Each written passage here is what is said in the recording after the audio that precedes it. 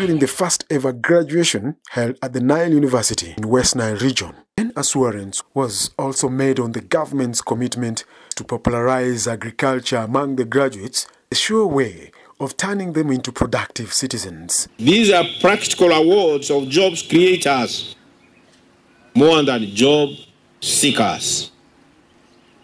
I urge you to use your newly acquired skills to partner with the government by participating in the Parish Development Model Program and supporting the circles. I believe you have a role to play along the seven pillars of the Parish Development Model. With the increasing demand for knowledge, it's hoped that institutions will not only fulfill the demands but also act as a catalyst for the development of the region that has been lagging behind.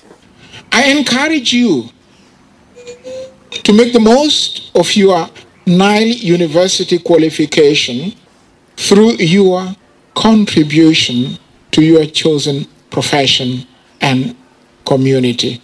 For the 92 students who graduated in various disciplines, this is just the beginning of a new chapter in their lives. We are really very much excited because we had been longing for this graduation. There were interviews organized in our districts and so on. We were unable to attend interviews of head teacher because we were lacking the paper or bachelor degree. This is now the second time I'm graduating. The first one was in ICT. Then I decided to pursue agriculture. All the skill I've got now, although there's no work, I'm able to do it in a field.